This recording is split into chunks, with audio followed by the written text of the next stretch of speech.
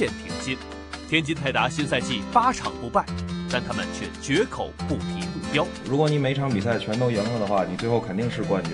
恒大国安上演激情大战，观众、球迷、恩怨、球员、教练、裁判、进球，一场比赛折射中超联赛的火爆与热烈。四月二十一号十八点三十五分，足球之夜，精彩呈现。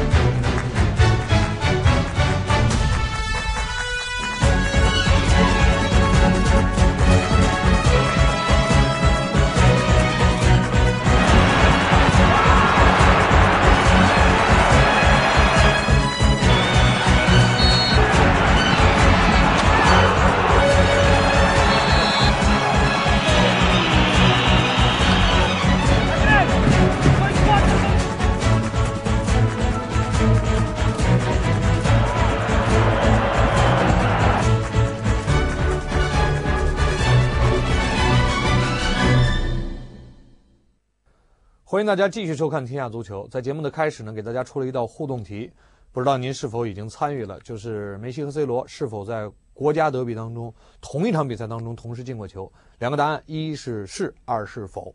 把您认为正确的答案一或者是二编辑短信，然后呢发送到幺零六六九九九九三，就可以赢取由我们节目提供的实物大奖了，有双卡双待的智能手机，还有我身后的。呃，C 罗和梅西的球衣，这是非常诱人的。希望您今天的节目能够有好运气。现在就拿起手机来参与一下吧。那接下来呢，就应该是我们今天的主题节目——国家敌人了。那么两支球队呢，两支豪门球队在十七天里面要进行四次对决，这绝对是百年一遇的情况，所以也是给我们节目提供了非常好的选题。我们将进行系列的关注。当然了，大家经过分析之后都认为。呃，在上个周末进行的这场德比当中呢，实际上两个队都是有所保留的，因为巴萨在联赛里的领先优势已经很明显了，而皇马显然已经开始想着今后的另外三场重要的比赛了。所以这场比赛呢，可以说是为今后的比赛埋下了很多的伏笔。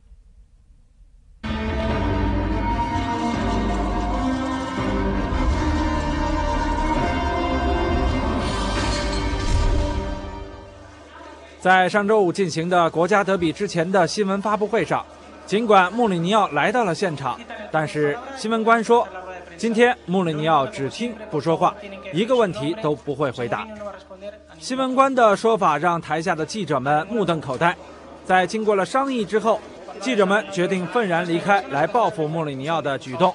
这次撤离的带头者正是西班牙的《阿斯报》。关于穆里尼奥不发言的举动，助理教练卡兰卡的解释是。que ahora el míster eh, se sobredimensiona todo y, bueno, pues no, hemos sido nosotros los que últimamente pues, eh, nos hemos salido de, de, tono y lo que está claro que él ahora mismo no, no, quiere ni que se sobredimensione sus palabras y que va a ser él el que va a entrar a, a calentar el partido o a, o a, responder cualquier cosa. Entonces, bueno, pues prefiere estar tranquilo. Además es una cosa que, como he dicho antes, ya no es la primera vez que, que lo hago yo. Es una forma de de trabajar y no es, el, es por no responderos a vosotros, sino porque bueno, pues es una forma de trabajar. 赛前，穆里尼奥说：“如果世纪大战赢了，他就不会出现在发布会现场。”由于是平局，穆里尼奥还是来到了赛后的新闻发布会。此时，前来提问的《阿斯报》记者再次遭到了穆里尼奥泼出的冷水。Hola, Mister. Álvaro La Rosa, Diario As. Quería saber qué le ha parecido la actuación del árbitro hoy. ¿Es usted director de las? Yo no debo responder, porque según vuestra filosofía, si vosotros no habláis con mi segundo, yo solo debo hablar con los directores.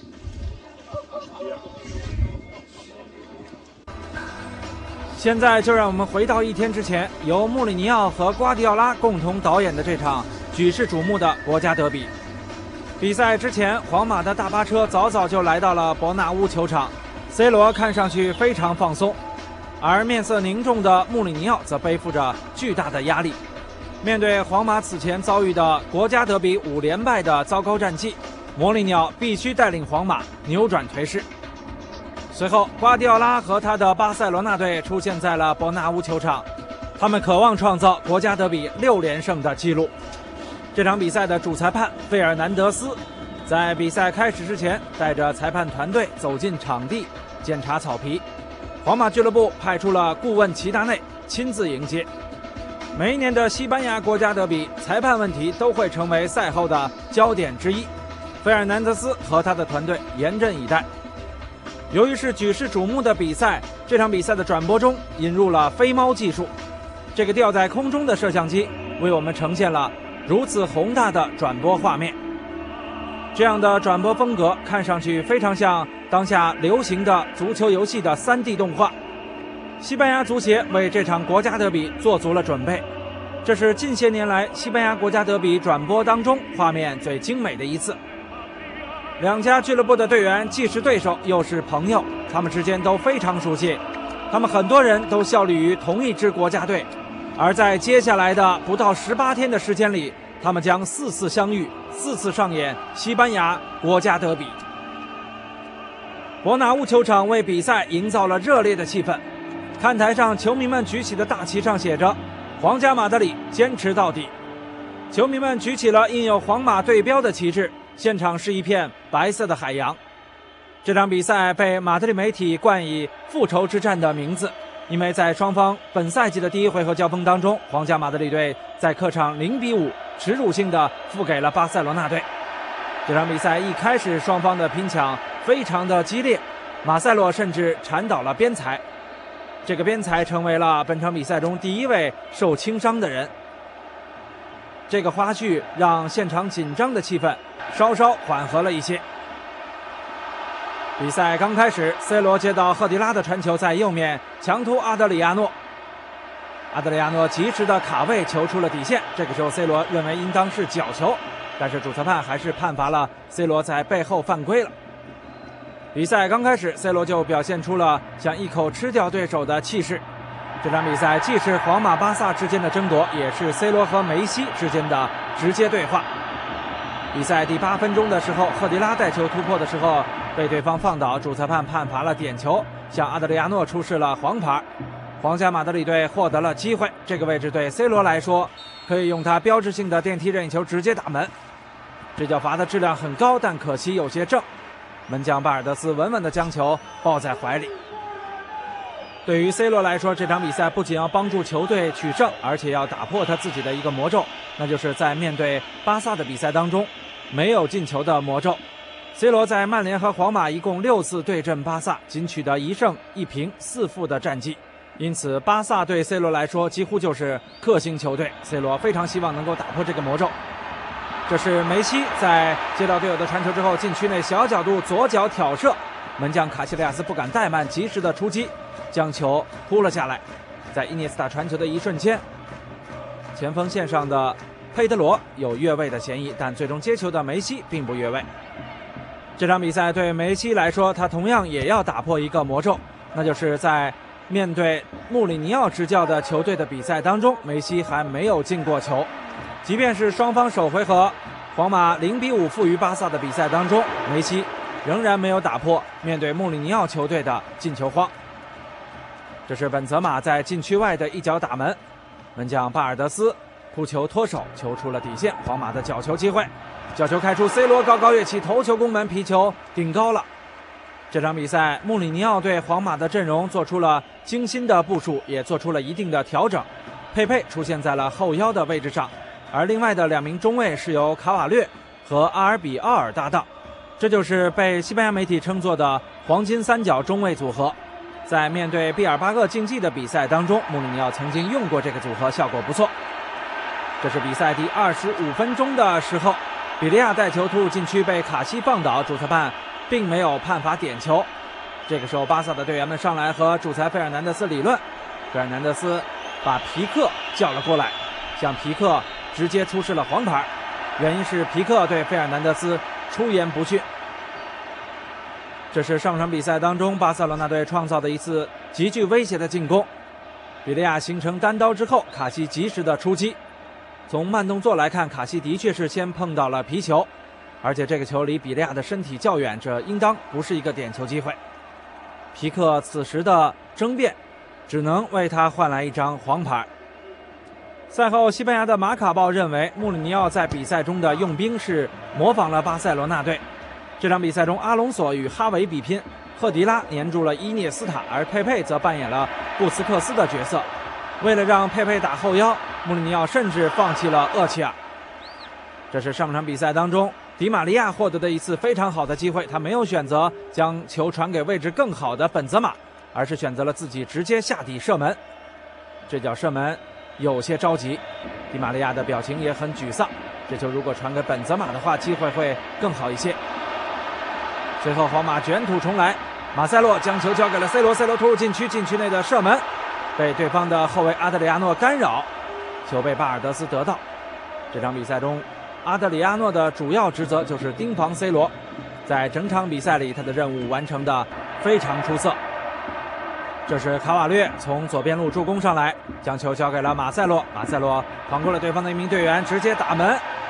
在巴萨队长普约尔的干扰之下，马塞洛的这脚射门没有能够打上力量，而且在完成射门之后，马塞洛的表情非常的痛苦，走路一瘸一拐，他受了一些轻伤。这场比赛，巴萨的队长普约尔伤愈复出，当然他的伤势并没有好彻底。不过，为了这场重要的比赛，普约尔还是决定冒险上阵。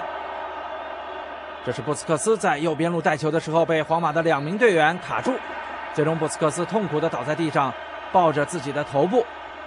马塞洛很无奈，他认为布斯克斯是假摔。看一看，确实马塞洛在后面对布斯克斯有伸脚的动作，双方的拼抢十分激烈。不过可以肯定的是，马塞洛并没有击中布斯克斯的头部。这是比利亚接到队友传球，转身打门，这脚球没有能够打上力量。从比赛的过程来看，前锋比利亚并不在状态。巴萨的 MVP 组合当中，在这场比赛里只有梅西发挥正常。当然，梅西也受到了皇马后防线的重点照顾。这是梅西在和佩佩的对抗当中被佩佩的膝盖击中了脸部，梅西非常痛苦地倒在了地上。还好的是，经过简单处理，梅西又重新回到了球场内，他的伤势并无大碍。上半场比赛第四十三分钟的时候，巴塞罗那队获得了一次绝好的破门机会，这是梅西和伊涅斯塔做了一个二过一配合，比利亚将球做给梅西，梅西带球突入禁区，禁区内的大门门将卡西利亚斯将球果断的扑出，这次配合非常的漂亮，梅西的这个跑位和他的路线，让我们想起了。在三年前的国家德比当中，梅西上演帽子戏法的那场比赛，他就是在诺坎普球场的这个位置打进了重要的进球。随后，皇马的角球机会险些破门，先是拉莫斯的头球摆渡，远端的 C 罗头球攻门，皮球被守候在门线上的后卫挡出。在拼抢角球过程当中，后卫阿尔维斯也受了一些轻伤。拉莫斯的点恰到好处，C 罗将力量集中于头部，奋力的头球攻门。这个时候，门将巴尔德斯已经撤到了网内，无力防守。幸亏回防的阿德里亚诺及时将球用头甩出了球门。上半场比赛双方零比零收场。下半场比赛当中，导播不断将镜头切给了正在热身的厄齐尔。